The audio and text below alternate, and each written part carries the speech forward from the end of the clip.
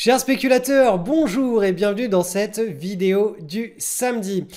Alors, ce gourou extrêmement connu aux États-Unis annonce euh, le crack financier le plus rude de toute l'histoire de la bourse pour le mois d'octobre.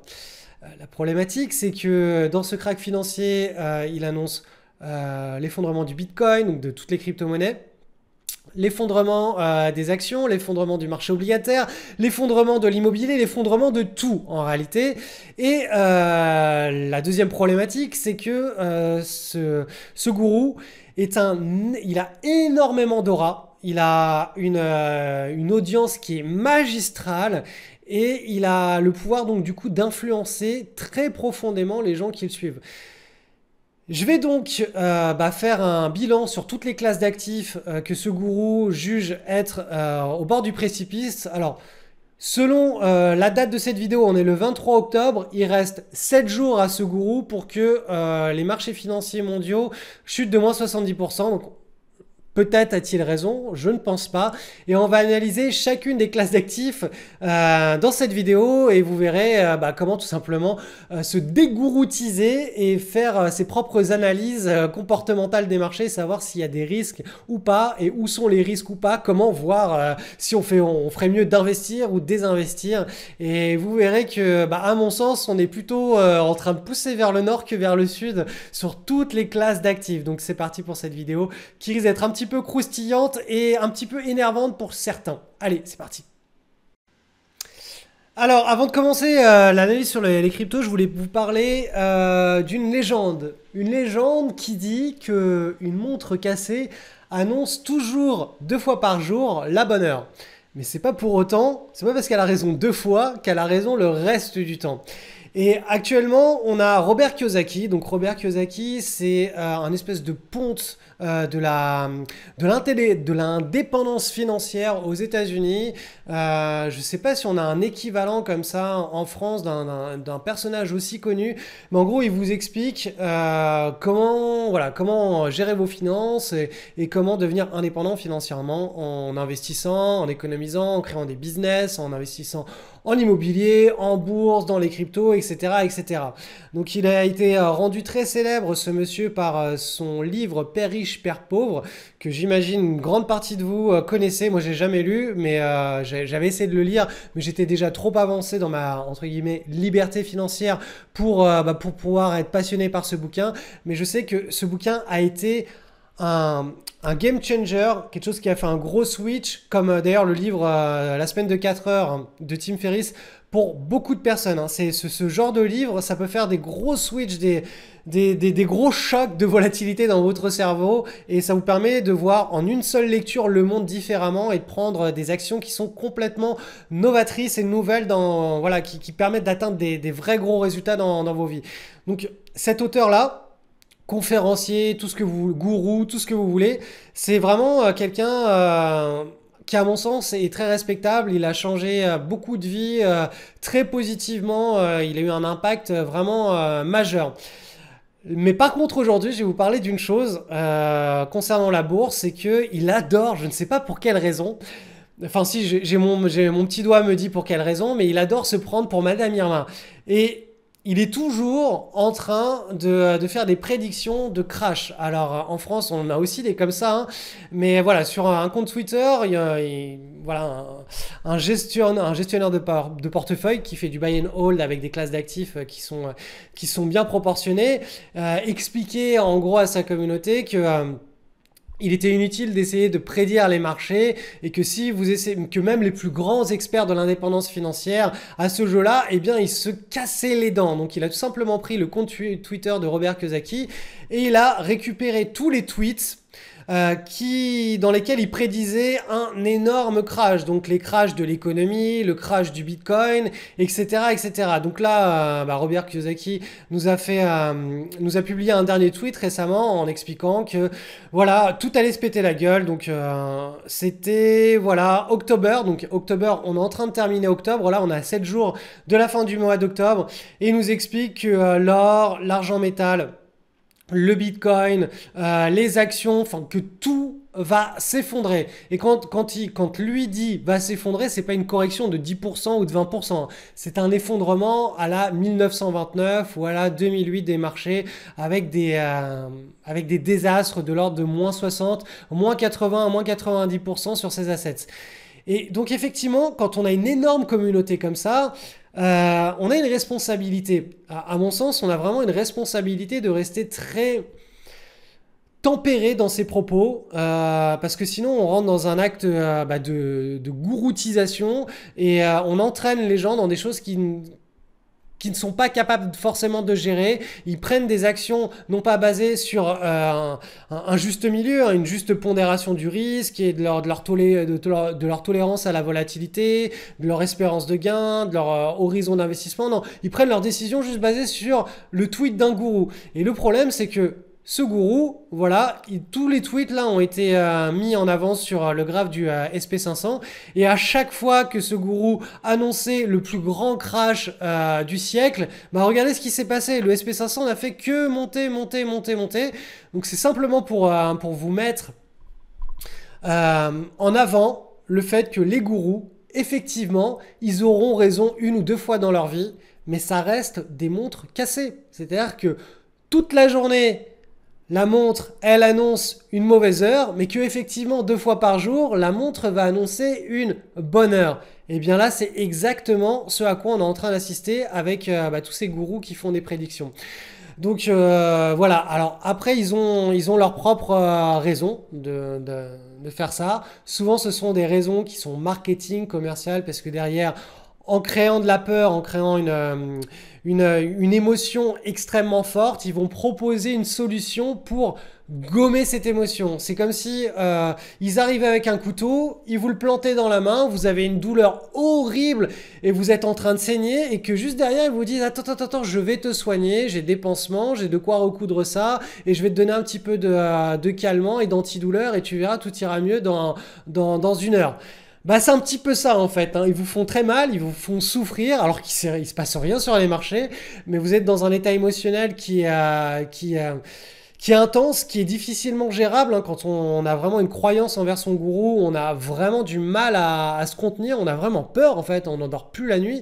Et puis bah, derrière, le gourou va, va, vous expliquer comment vous libérer de cette douleur moyennant quelques euros. Donc c'est une stratégie euh, qui apparemment marche pour Robert Kiyosaki, mais je voulais simplement vous mettre en garde face à ce genre de choses. Certes, euh, les, euh, les, entrepreneurs, tout le monde, tout, toutes les personnes qui créent des services sont censées résoudre des, problèmes. Mais l'idée, c'est quand même de résoudre des vraies problématiques. Euh, c'est pas de créer des fausses pro problématiques comme ça qui vont créer une émotion et de ensuite soigner l'émotion. Non. L'idée, c'est que euh, j'imagine que si vous regardez euh, mes vidéos du samedi, c'est que vous avez besoin de savoir comment euh, profiter, par exemple, du marché des cryptos sans bah, vous ruiner et comment gérer un portefeuille moyen long terme, comment spéculer sur les marchés, là aussi, hein, sur le marché des actions et avoir un portefeuille qui soit correctement managé Comment trouver les bonnes opportunités, tout cela encore une fois sans se ruiner, sans y passer toute sa journée, sans avoir fait un bac plus, 12, mais en aucun cas euh, vous êtes là pour que je vous apporte des émotions négatives et que derrière je vous propose une, petite pilule euh, moyennant quelques euros pour, euh, pour, voilà, pour gérer ça. Donc bien entendu, je sais que mon discours ne sera pas accueilli euh, positivement par, beaucoup d'entre vous, mais voilà, c'était juste ma vision de la réalité. C'est euh, pour moi, voilà, quand j'achète un iPhone, ça vaut très cher un iPhone, mais ça solutionne énormément de problématiques à mon sens, et, euh, c'est un instrument qui est génial. Donc j'adore les iPhones et j'en achète tous les, tous les deux ou trois ans quand le mien devient obsolète et, et qui ralentit, et je continuerai à acheter un iPhone. Pareil pour un ordinateur, ça vaut cher un ordinateur. Oui, ça fait du mal, oui, ça fait mal aux yeux oui ça fait vieillir, oui ça fait mal au dos parce qu'on reste trop de temps, etc. Mais euh, euh, les, les, contraintes positives et tout, tout ce que ça solutionne dans notre vie actuelle est suffisamment bon pour qu'on puisse euh, avoir aussi quelques douleurs face. Enfin bref, allez, j'arrête avec ça. C'était, je suis en train de, en train de disgraisser. Je sais pas comment on dit comme ça? Ouais, bon, peut-être. Donc du coup, par rapport à Robert Kiyosaki, cette semaine, je vous ai préparé 4 emails pour mettre en place un portefeuille long terme qui se gère en automatique, non pas sur la base des, des discours d'un gourou et de ses intentions plus ou moins fallacieuses, mais sur la base d'anomalies structurelles qui ont délivré des performances robustes. Et tout cela, je vais vous le partager dans les emails privés. Le lien est en description. Donc si ça vous intéresse, inscrivez-vous bien sur ma mailing list. On attaque le Bitcoin maintenant. Donc, cette semaine, on est en train de confirmer, là je suis sur la total market cap crypto. Donc la semaine précédente, je vous rappelle, hein, on a eu le breakout hein, de cette tasse EANS. Donc là, boum, on a fait un, on a, cassé le pivot. Et cette semaine, on a validé, on a validé simplement parce qu'on est venu euh, fluctuer au-dessus de, euh, de la mèche la plus haute de cette séance de breakout. On est là aussi hein, sur un, un ATH, un, nouveau plus haut historique euh, de, la, market cap, hein, de la total market cap des cryptos. Ça signifie, pour euh, en, bon français, que eh bien il y a plein de monnaie, il y a plein d'argent qui est en train de repartir s'investir sur ce marché et que toute cette séquence là, là, toute cette séquence de, stress, euh, de est-ce qu'on est en bear market ou pas, est-ce que euh, les cryptos vont tenir ou pas, est-ce que, euh, enfin, est-ce que toutes les questions qui étaient est-ce que, est-ce que, est-ce que, elles sont balayées, elles sont derrière, et là on est en train apparemment de repartir sur quelque chose de très positif. On commence à, regarder euh, vers le haut avec beaucoup d'optimisme. Et bah, du coup, euh, ce sont que des signaux qui s'accumulent et qui sont positifs pour euh, l'ensemble du marché des cryptos. Donc ça faisait quand même hein, depuis le mois d'avril, hein, que avril-mai, qu'on attendait ce, type de voilà ce moment-là. Et, et, on y est. Donc vraiment Intéressez-vous au marché des cryptos si vous êtes des spéculateurs avertis.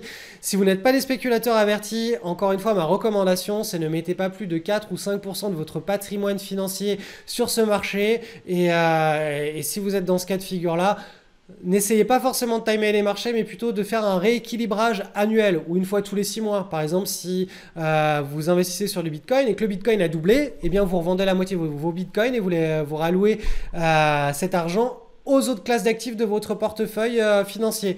Si le Bitcoin a été divisé par deux, eh bien vous revendez un petit peu de vos autres classes d'actifs, donc actions, obligations, enfin ce que vous avez, et vous rallouez, euh, vous rallouez 2, 2,5% au Bitcoin pour que le Bitcoin, une fois tous les 6 mois ou une fois tous les ans, il représente en moyenne, on va dire 5% de votre patrimoine financier.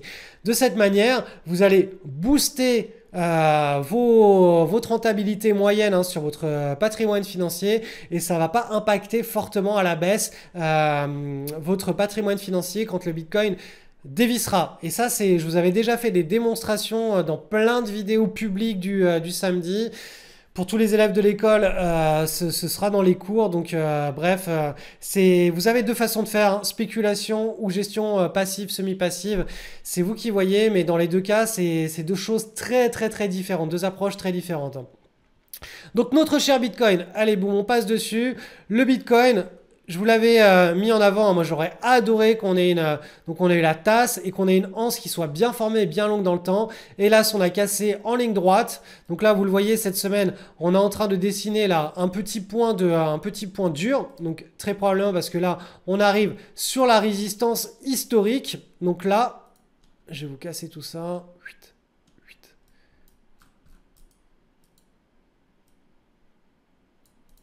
Donc là, tout simplement, on arrive sur la résistance. Donc, il se peut que le joueur, là, de la, enfin, les haussiers, euh, ait du mal à passer en ligne droite. Donc, ça veut dire tout simplement, voilà, si on a ça qui se forme et qu'on casse à ce moment-là, euh, là, on aurait un super point d'entrée parce qu'on aurait le temps de digérer toute la. Bah, on, on, aurait une vraie grande tasse et là, on aurait une vraie grande anse.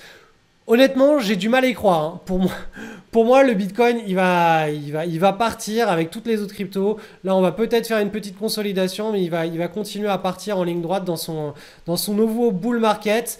Mais quand, voilà, quand bien même, si, euh, si on avait euh, le, scénario idéal que je, viens, que, que, je vous garde ici, là, là, ce serait vraiment une super belle opportunité pour, euh, pour rentrer sur les positions spéculatives sur le Bitcoin. Hélas, euh, comme je vous l'ai dit, je ne pense pas qu'on va assister à cela. Donc, euh, eh bien, le plan B, c'est comme je vous l'ai dit la semaine dernière, d'aller chercher dans le top 20 ou dans le top 30 euh, des, des, cryptos les plus liquides. Donc, vous allez sur coinmarketcap.com et vous allez afficher tous les graphes en hebdomadaire. Donc euh, vous reportez les graphes sur euh, Pro Real Time, TradingView, sur votre logiciel, euh, sur Binance, Kraken, bref, sur votre logiciel qui vous affiche les graphes des cryptos. Et vous regardez des belles tasses avec Hans, notamment avec des, bandes de Bollinger en hebdomadaire qui sont bien, qui sont en train de bien se contracter autour des cours. Et ça, ça vous assurera d'être dans des patterns qui sont presque matures et qui sont de bonne qualité. Ensuite, vous tracez le petit pivot sur la fin et dès que vous avez la cassure, boum, vous avez un setup euh, pour, euh, bah, pour, pour, pour, passer une, euh, une, position. Donc je, je tenterai, j'ai toutes les opportunités qui sont les plus intéressantes, je les ai partagées avec les élèves mercredi dernier hein, dans, dans la vidéo privée. D'ailleurs, j'en profite, si vous êtes élève LSL 6.0 et que vous n'avez pas reçu cette vidéo privée, allez regarder dans vos spams. Si elle n'est pas dans vos spams, Contactez-moi hein, sur, euh, sur email pour que euh, je résolve le problème. Je crois qu'il doit y avoir 5 ou 8 élèves qui, euh, qui, qui m'ont déjà contacté. Il est probable qu'il y en ait 5 autres ou 8 autres hein, qui soient dans le même cas de figure. Donc n'hésitez pas à me contacter pour être certain de recevoir les communications de l'école. Bref, euh, le travail que j'ai fait pour les élèves de l'école, vous pouvez le faire par vous-même et je tenterai au fil des prochaines semaines, quand il y a vraiment une très belle euh, opportunité avec un breakout qui s'est effectué pendant la semaine hein, sur une crypto, je tenterai de vous le partager sur cette vidéo YouTube. Donc, euh, eh bien, tout simplement, continuez à les regarder chaque samedi. Alors, on m'avait demandé de analyser l'or et l'argent métal, euh, puisqu'on est toujours dans une, euh, bah, dans une zone de volatilité, de grosse consolidation. Je vous rappelle que les cycles hein, sur l'argent métal et euh, sur l'or, ce sont des cycles en mensuel. Donc là, le graphe que je vous montre est en weekly. C'est un zoom. Le weekly est un zoom du graphe en mensuel. Donc, on va d'abord faire notre analyse en mensuel pour que vous compreniez où on en est dans, ce, dans, ces cycles.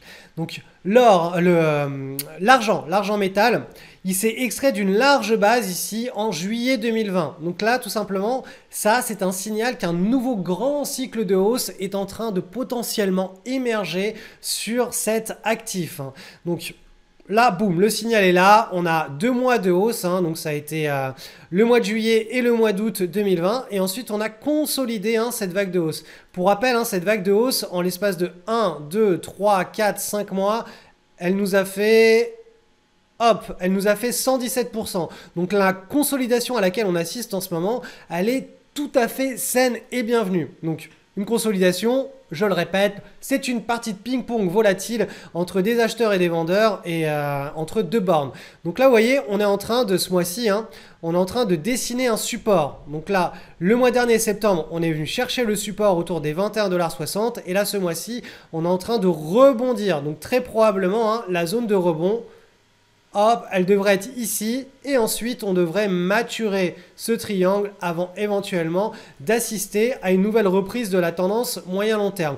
vous voyez, ce sont des cycles qui sont longs là. Sur euh, ce que je viens de vous dessiner, euh, on est quand même en train de projeter un potentiel nouveau bull market sur cette classe d'actifs euh, bah, pendant pour l'été 2022. Hein. Donc c'est très important hein, quand vous analysez un, actif de savoir sur quelle unité de temps se font et se défont les cycles. Sinon, vous allez, euh, vous allez jamais comprendre ce qui se passe. Donc en weekly, je descends d'une unité de temps pour que vous compreniez, voilà, la chose avec un zoom. Donc on a vécu euh, entre euh, le mois de mai 2021 et le mois de septembre de cette même année une, une vague de baisse, hop, au sein de ce grand triangle.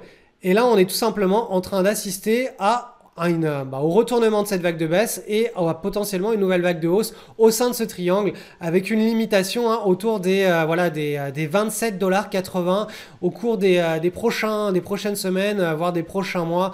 C'est la zone de résistance qui devrait stopper les cours sur cet actif. Mais est-ce qu'une grande tendance va réémerger tout de suite maintenant sur cet actif? Euh, je ne le pense pas. Hein. Je pense qu'on va rester dans une partie de ping-pong encore pendant plusieurs mois avant d'assister à un vrai breakout qui là relancera sur le vrai grand cycle de l'argent métal que eh bien, tous les, puristes attendent depuis quand même, euh, je pense, euh, une bonne décennie, voire plus.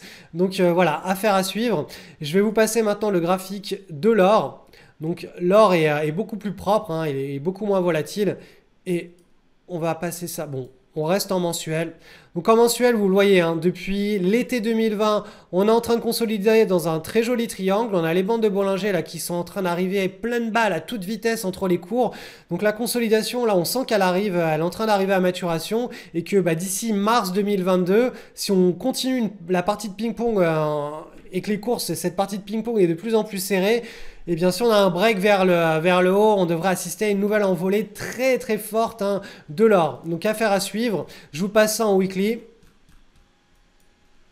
Et vous allez le voir, hein, ce triangle, il est vraiment très, euh, bah, très propre hein, pour le moment. On a été chercher ici le, une première zone de support, ici une deuxième zone de support à deux reprises. On est en train de dessiner le rebond. Donc euh, la zone maximale de rebond pour que ce triangle soit respecté est autour des voilà 1900 points. Et ensuite la partie de ping-pong devrait s'accentuer. Euh, voilà, l'écart devrait, ça, devrait se, se restreindre avant d'assister à un vrai nouveau breakout. Donc encore une fois, la clé de ce que je voulais vous expliquer là, c'est que les cycles sont beaucoup plus longs sur l'or que sur euh, bah, les actions ou euh, bah, sur, les crypto-monnaies. Hein. clairement, on, est sur du daily, weekly. Euh, pour, timer les prises de position, alors sur les matières premières, on va davantage être sur du, du monthly, enfin du, du mensuel. quoi.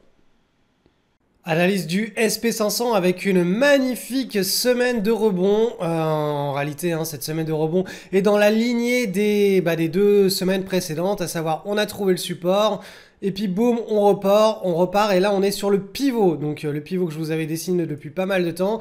En principe, là le pivot devrait être une zone dure. Donc là on devrait recommencer à consolider et dessiner un triangle. Donc ça c'est vraiment euh, dans le scénario idéal où euh, eh bien, les marchés financiers, la classe d'actifs actions qui est représentée sur le marché américain, digère toute la hausse depuis le Covid. Il nous faudrait vraiment une très très belle et longue consolidation qu'on puisse casser par le haut ensuite pour repartir dans, un, dans, un, dans une bulle entre guillemets saine. Donc une bulle saine, je sais que c'est euh, ça ne se dit pas, hein, c'est paradoxal, c'est euh, je, n'ai plus le terme, c'est un euphémisme, euh, mais pourtant c'est le cas.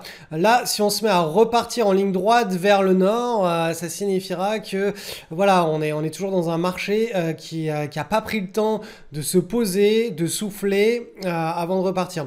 Donc on va suivre ça de près, hein, semaine après semaine. En tout cas, la seule chose à retenir, c'est que euh, eh bien, le bull market hein, sur le marché action, il est toujours en force, il est toujours présent, il est toujours là. On n'est ni dans, une, euh, dans un gros range de volatilité, ni dans un marché baissier. Et pour le moment, il y a absolument zéro zéro signaux euh, qui devraient nous inquiéter. Le, le, seul moment où on devrait commencer à se dire ah ça commence à se gâter, il va y avoir de la volatilité, peut-être une forte correction ou peut-être un bear market, euh, ce serait si on cassait voilà le, support des 4230 points, voilà la zone des 4000 en fait, hein, 4100, 4200. Il faudrait vraiment qu'on s'aventure bien en dessous pour que là on se dise ok on va aller rejoindre le bas de ce long canal à long terme avec euh, eh bien, potentiellement une, euh, une baisse hop, qui pourra avoisiner les 30%, 30, ouais, autour de 30%. Pour le moment, on n'est pas du tout dans ce cas de figure. Et regardez, le Nasdaq, Pareil, hein, le Nasdaq, il est dans une très très belle petite consolidation en plein bull market. Donc euh, ça fait trois semaines ici, 1, 2, 3 qu'on est à la hausse. On arrive sur le, niveau de pivot. Donc euh, c'est une belle petite consolidation qui, qui est en train de se mettre en place. Et on est toujours dans ce canal haussier depuis le début de l'année 2020, depuis la crise Covid. Et idem pour le DJI.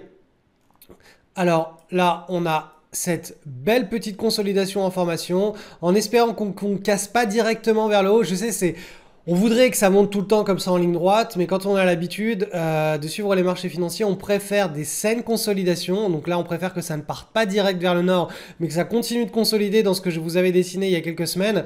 Et ensuite que ça parte vers le nord, parce que ça veut dire que les marchés ont bien repris de l'énergie, se sont bien reposés, ils ont bien digéré, ils peuvent rattaquer un nouveau, euh, un nouveau repas. Donc on reste tout à fait euh, ben, très optimiste avec euh, des opportunités en swing hebdo, en swing daily sur les marchés actions euh, américains et européens. tout est très correctement orienté. Donc Tesla, hein, toujours cette action qui est très chaude un fort potentiel, à forte asymétrie positive, euh, bah, on a une nouvelle semaine de hausse. Donc là, on sent que la tendance est en train de, bah, s'accélérer, de partir. Et euh, bah, tous ceux qui ont pris des positions hein, sur la rupture de pivot ici hein, euh, sont en train de, très rapidement vont se retrouver avec un trade neutralisé, c'est-à-dire un trade sans risque. Hein. donc tout ça est expliqué, vous verrez les élèves dans l'école, les nouveaux élèves. Tesla, c'est le type de trade qu'on peut comprendre. Et aussi, et vous allez voir, Snapchat qui s'est pris une grosse déconfiture. Alors, où est-ce que c'est Snapchat? Hop, vous allez voir. Boum. Donc Snapchat, c'était euh, une opportunité qui avait, euh, qui avait été proposée. Euh, qui, qui par le marché hein, simplement qui était retourné sur nos screeners avec une prise de position voilà sur les, les alentours de voilà autour de 79 dollars mettons et on a eu une annonce de résultats donc qui s'est euh, bah, qui s'est passé le 21 octobre et du coup le lendemain les cours ont ouvert en baisse. Donc là, euh, bah, typiquement, quand on est dans une... Alors, je ne vais pas vous révéler le plan de trade complet de l'école. De toute façon, je ne pourrais pas le faire en une vidéo de 20 minutes puisque ça prend, ça prend concrètement 7 euh, mois, 8 mois de, de, de, de, formation des étudiants pour qu'ils aient tous les éléments et qu'ils les maîtrisent bien. Mais pour faire simple, quand on a une annonce de résultat et qu'on n'est pas dans un, dans un trade qui est déjà neutralisé, c'est-à-dire sans perte ni gain, ou qui, est, qui nous propose pas déjà euh, des gros gains suffisamment importants euh, pour pouvoir encaisser un choc de volatilité négatif, c'est-à-dire typiquement ce qui s'est passé sur Snapchat là. On a une annonce de résultat qui est prévue, on ne sait absolument pas à l'avance là, on ne sait absolument pas à l'avance si le choc va être positif négatif. On ne sait pas si les opérateurs vont. D'ailleurs, on ne sait, on ne connaît pas la qualité de la news. Hein. on ne sait pas si ça va être euh, un profit warning ou une surprise très positive sur les résultats. Et on sait, on connaît encore moins euh, la réaction des investisseurs. Tout ce qu'on sait, c'est que potentiellement le jour de la date des résultats, le lendemain, une fois que les, résultats sont annoncés, le lendemain, on peut avoir un très gros choc de volatilité à la hausse comme à la baisse. Et comme on souhaite absolument défendre avant tout nos billes, avant de penser à gagner, il faut commencer à ne pas perdre ou à perdre le moins possible. C'est vraiment une règle magistrale en bourse avant de, visualiser vos profits, visualiser vos pertes. Prenez vos, euh, paris en fonction des, pertes potentielles maximales et ensuite vous pourrez euh, être beaucoup plus à l'aise pour spéculer. Donc typiquement là, on se retrouve dans un cas où il y a une forte incertitude. On n'a pas de, euh, gros gains latents. On est, on est autour de la zone de prise de position. Donc ça signifie que si la news est fortement négative, on n'aura pas les gains latents qui vont être mangés et qui vont nous faire sortir entre guillemets sans perte ni gain sur, euh, sur ce trade. On sait qu'on va se prendre une grosse déconfiture directe si ça part vers le sud. Donc typiquement dans ce cas de figure, ça fait partie des plans de trade. On sort de position la veille, l'avant-veille ou quelques jours avant l'annonce de résultats parce que euh, sinon bah, tout simplement si ça part vers le sud avec un gros gap, on se fait, euh, bah, prendre sur, on se fait prendre plus bas. Donc là pour le coup, hein, bah voilà, on est sur des zones où les stops peuvent être déclenché pour ceux qui sont restés en position. C'est pour cela que tout simplement la bourse ne s'improvise pas. Il faut se former, il faut mettre en place des plans de trade, des plans de trade qui sont euh, aux épreuves du marché.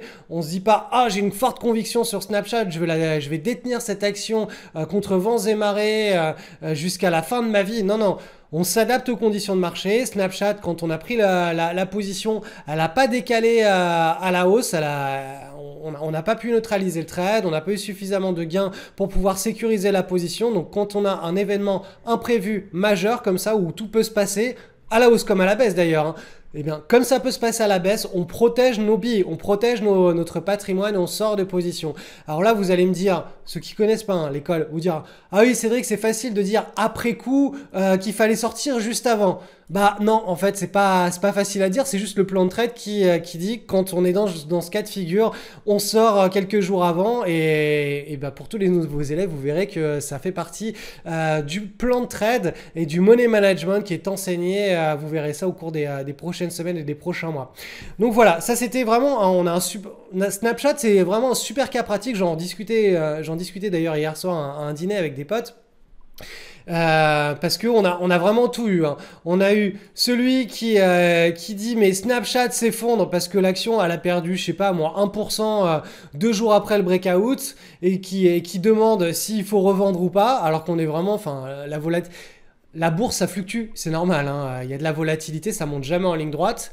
Euh, et puis là, il va y avoir tous ceux qui vont dire Oh là là, euh, c'était, si, enfin voilà, c'est, c'est pas possible de trader si on a des opérations perdantes. Même là, si vous sortez sur votre stop loss, là sur des, sur les niveaux actuels, parce que vous, vous êtes pris la bad news, entre guillemets, ne regardez pas un trade, mais regardez 100 trades. Sur 100 trades comme celui-ci, euh, il y en a peut-être 10, 15 qui vont être exécutés sur votre stop loss. C'est assez rare. Euh, il y en a un gros paquet au milieu qui vont être exécutés sans perte ni gain ou avec des petits gains, des petites pertes ou flat. Et il y en a une minorité, on va dire 30% qui vont être, euh, qui vont être clôturés, débouclés avec des gains. Et sur les 30%, il y en aura la moitié qui vont être clôturés avec des vrais gros gains. Donc quand on arrive avec 100 paris, en réalité, il y en a 10 15 qui vont créer toute la fortune du parieur, euh, toute la fortune du spéculateur. Tout le reste, c'est du bruit. Tout le reste, c'est des tentatives échues. Et tant qu'on n'aura pas câblé son mental avec cette logique-là et qu'on n'attaquera pas les, euh, opportunités à froid, c'est-à-dire sans, sans croyance, sans religion envers un actif, sans, une conviction complètement folle en se disant je crois en cette action, je la, garde, euh, je, je, la ressens au fond de mes tripes, tant que vous n'aurez pas euh, fait le deuil de tout ça, vous aurez des problèmes à mon sens hein, pour spéculer en bourse. Il faut vraiment aborder euh, la spéculation avec une vision de 100 paris à la fois et non de 1 pari à la fois. Donc voilà, ça c'est vraiment, euh, je tenais à faire un petit point là-dessus parce que euh, pour le coup c'est du live, c'est des, euh, des cas pratiques qui sont, bah, qui sont super intéressants. Alors on est sur la chaîne, ma chaîne publique YouTube, donc c'est normal, hein, je vais pas rentrer dans les détails, mais bon, l'école est là pour ça. Bon d'ailleurs, de toute façon, l'école est fermée, hein, je sais même pas pourquoi j'en parle.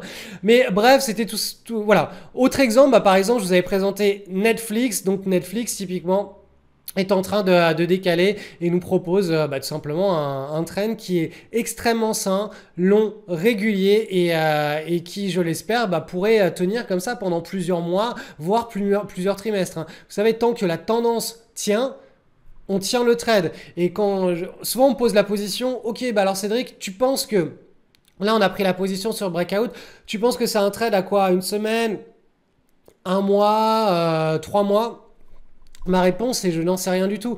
Si on part euh, en ligne droite, comme ça, euh, en l'espace de 3 jours, et qu'on fait ce qu'on appelle un climax run ou un hyper climax run, eh bien au bout de 3-4 jours, on va sortir de la position. Parce que le marché, euh, c'est le marché qui décide en réalité. Alors que si le mouvement est long et régulier pendant 3 ans, eh ben nous, on va tout simplement surfer la tendance, on va surfer la vague aussi longtemps qu'elle a du potentiel. Donc en réalité, quand on rentre sur un trade, on ne sait pas si le trade va être gagnant, on ne sait pas euh, la vitesse, le, temps que l'on va rester investi sur le trade, et on ne connaît pas l'amplitude à l'avance. Donc vous voyez, ça fait beaucoup d'imprévus. Et tout ça, on ne les connaît pas. On sait juste qu'on a, des, on a des, des espérances de gains qui sont anormales. Par contre, ce qu'on connaît, c'est ce qu'on est prêt à perdre. Et c'est pour ça qu'il faut vraiment, quand on place des paris, focaliser toute son attention sur ce à sur, la chose sur laquelle on a du contrôle. Et je pense que c'est une philosophie boursière que l'on peut répercuter dans sa vie de tous les jours. Arrêtez de... Euh, souvent, voilà, le réchauffement climatique, euh, enfin toutes, les, euh, toutes les choses qui concernent la planète, c'est très bien, mais nous, on a, en tant qu'être humain individuellement, on n'a pas de contrôle sur toutes ces choses énormes. La seule question à nous poser, c'est ok, moi à mon petit niveau, comment est-ce que je peux agir? Je fais les petits gestes simples et j'agis juste sur les choses sur lesquelles j'ai du contrôle. Les choses sur lesquelles je n'ai pas de contrôle ne me concernent pas et je ne vais pas euh, passer des heures euh, à essayer euh, de, confronter les gens, de les convaincre. je ne vais pas perdre mon temps, je ne vais pas perdre mes, mes ma, vie sur des choses sur lesquelles je n'ai pas de contrôle. Et quand vous commencez à agir juste sur les choses sur lesquelles vous avez du contrôle, votre vie littéralement change. Et la bourse est une école de la vie. Hein. Si, si vous acceptez la réalité honnête, authentique de ce, de ce que sont les marchés, de ce qu'est la, la bourse, vous allez pouvoir transposer ça dans votre vie réelle et adopter les mêmes plans de trade, les mêmes stratégies. Hein. C'est une stratégie des jeux tout ça. Hein. Ce que l'on vit sur, la, sur les marchés financiers, on peut le dupliquer et le vivre dans la bourse, dans la, dans les, dans, dans la vie réelle. une stratégie des jeux boursière, on la retranspose dans la vie, une stratégie, une stratégie des jeux sur nos, relations, sur euh, les paris que l'on fait. Euh, sur, voilà, sur, toutes nos décisions de vie en réalité. Bon bref, je m'arrête là. C'était c'était les, les, minutes philosophiques euh, de Mister Froment. je passe à la suite. Alors cette semaine, dans mes emails privés, donc les emails privés, seules euh, les, euh, les, personnes inscrites sur ma mailing list, dont le lien est en dessous, les reçoivent. Je vais vous parler de comment mettre en place un portefeuille financier qui soit semi-automatisé, c'est-à-dire qu'une fois par mois, vous allez devoir juste faire un check qui va prendre entre 5 et 10 minutes et savoir si vous devez prendre une position euh, ou une décision. Et ça, non pas basé sur votre vision des marchés, mais basé sur un système qui a fait ses preuves sur plus de 50 ans. Donc, je vais vous présenter les performances, je vais vous révéler absolument gratuitement une stratégie, euh, je vais vous parler de bah, comment construire tout ça par vous-même, et vous verrez qu'on peut aller encore beaucoup plus loin et augmenter, euh, sans augmenter le risque, augmenter la rentabilité. Donc, il y a quatre emails qui vont partir cette semaine, lundi, mardi, jeudi, vendredi. Euh, il y a plein de pépites, d'informations, des choses que vous ne retrouverez nulle part ailleurs, hein, euh, parce qu'il y a de l'expérience derrière, il y a beaucoup de, vécu. Donc si vous n'êtes pas encore inscrit sur ma mailing list, le lien est en description et vous allez simplement, quand vous allez vous inscrire, vous allez recevoir un email de confirmation. Et eh bien, confirmez bien. Si cet email est dans votre boîte de spam, vous glissez l'email dans votre boîte de réception de manière habituelle, de manière à bien recevoir les prochains emails. À plus!